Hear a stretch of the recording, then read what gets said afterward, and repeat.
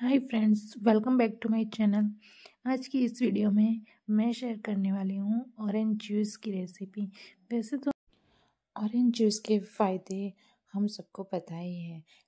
ये बॉडी के लिए कितना हेल्दी है।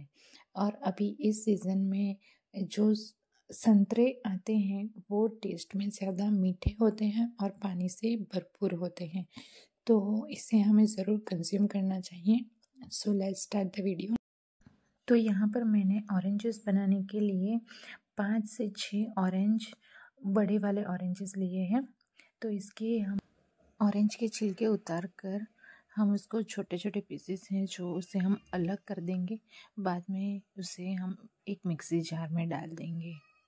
तो इस तरह से जिस, जितने संतरे हमें इसमें ऐड करने हैं, वो हम कर लेंगे। मैंने तीन लिए हैं। तो बाद में इसमें थोड़ा सा पानी ऐड करेंगे ताकि अच्छे से ब्लेंड हो जाए।